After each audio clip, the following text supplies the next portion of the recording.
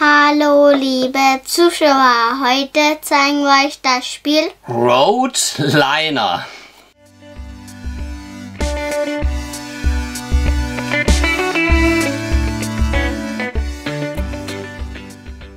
Heute stellen wir euch mal wieder was ganz anderes vor. Ihr wisst ja, wir schauen gern mal über den Tellerrand in dem Fall gibt es was aus dem Bereich Spielzeug. Äh, Spielen ist aber auf den ersten Blick richtig cool. Ich habe es auf der Spielwarenmesse in Nürnberg 2019 zum ersten Mal gesehen. Das ist immer wieder ausverkauft. Das ist nämlich der Roadliner. Du bestimmst den Weg, zeichne eine Linie und das Auto folgt dir. Äh, teilweise in Sequenzen im Hintergrund seht ihr dann, äh, wie das Ganze funktioniert. Äh, das heißt, dieser Roadliner, ähm, ja, der wird am Anfang erst einmal beklebt in dem Fall. Ähm, ja, da hat man verschiedene Möglichkeiten. Der Lias äh, ze zeigt es, beziehungsweise man sieht es auch teilweise im Hintergrund. So, und dann kann man praktisch ein Puzzle aufbauen und einfach mal den Roadliner bei diesen Puzzleteilen abfahren lassen. Es geht bis zu 4 Meter. Das sind, da ist noch wahnsinnig viel dabei. Also, äh, ich, darf, oh, ich darf nicht verrutschen. Ähm, bei weitem mehr. Und dann hat er natürlich noch einen Vorteil. Man muss nicht unbedingt bei den Puzzleteilen abfahren, sondern man sieht das jetzt mal hier. Man kann auch auf dem Blatt Papier in dem Fall, mal gucken, ob das funktioniert, ähm, das aufzeichnen. Jawohl, das funktioniert super. Oh, jetzt bin ich mal gespannt, ob er die Hürde schafft. Genau.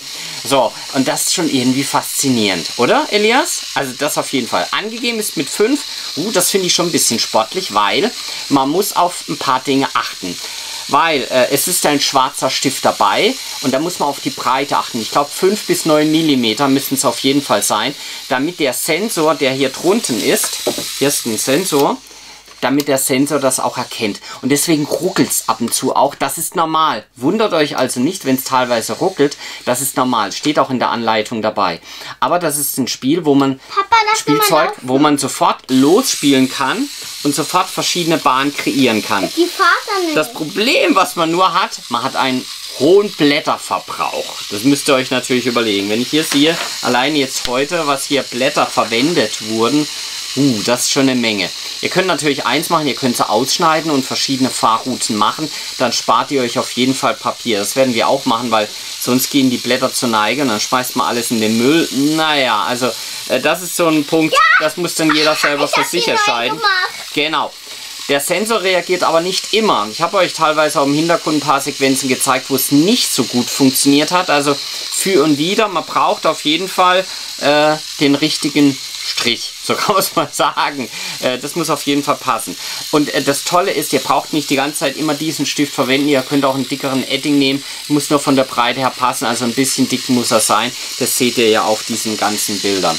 Und äh, wild und cool wäre das vorgestellt als fördert Kreativität und Feinmotorik. Wie gesagt, erschien bei Die Spiegelburg. Da stelle ich euch immer mal wieder ein paar Spiele, auch ein paar coole Bücher vor.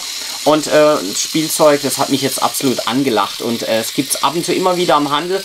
Aber ich habe ja gesagt, immer mal wieder ausverkauft. Also ist schon ein Spielzeug, wo aktuell im Handel sehr gut ankommt. So, der Elias ist sieben Jahre, die Alina ist fünf. Die hat teilweise ein bisschen Probleme. Deswegen habe ich auch gesagt, fünf Jahre finde ich auch durchaus sportlich. Ähm, Elias, wie findest du denn das? Zu schwer? Gut? Altersgerecht? Fangen wir mal an. Ist es zu schwer? Nö. Erkennt jedes Mal die Bahn? Äh, das erkennt nicht jedes Nicht Mal. immer. Wie findest du das? Cool? Okay? Cool. Okay, eher? Cool. Also ich finde es ganz gut. Es ist natürlich immer so ein Zeitfaktor. Wie lange spielt ihr das?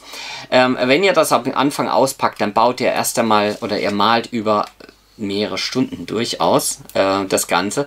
Und ihr baut auf dem Boden verschiedene Bahnen etc. Wir haben es euch jetzt einfach mal auf den Tisch demonstriert. Und am Anfang solltet ihr erst einmal puzzeln, um mit dem Ganzen klar zu kommen. Und dann nehmt ihr einfach ein großes Blatt Papier, verschiebt, schiebt mehrere Blätter, DIN A4 Blätter, je nachdem auch zusammen. Und wir da, haben gar nicht große Blätter. Doch, Donner, ja, ja, wir haben jetzt die große genommen. Normalerweise habe ich ja nur von Drucker DIN A4 Papier, aber äh, solche große. Aber der Verbrauch ist durchaus enorm. Also das müsst ihr wissen, aber ein cooles Gadget, kann man das sagen? So äh, Gimmick oder Gadget dann in dem Fall. Und äh, noch mehr Infos zum Roadliner findet man unter roadliner.koppenrad.de.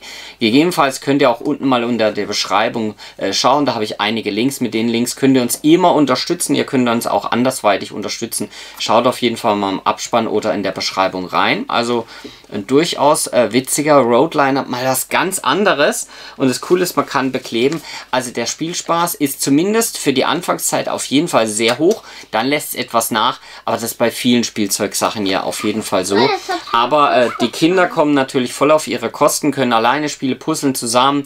Äh, wenn man zwei hat, der Elias hat es auch gesagt, äh, dann kann man sogar ein Rennen gegeneinander starten. Mal schauen. Wenn man zwei hat. Wenn man zwei hat, dann kann man auch seine Bahn, gegnerischen Bahn dann bauen. Also überlegt es euch auf jeden Fall, schaut je nachdem mal auf den Link. Und das war ein Spielzeug der etwas anderen Art und Weise. Immer mal wieder ein Ausflug in die Welt des Spielzeugs. Äh, nicht immer, aber immer wieder mal. Ich sag Tschüss, macht's gut, bis bald und wenn es euch gefallen hat, gebt uns gerne einen Ein Daumen. Daumen. hoch. Zehn Daumen hoch oder ein Abo. Über Ein. Abos werden wir uns freuen.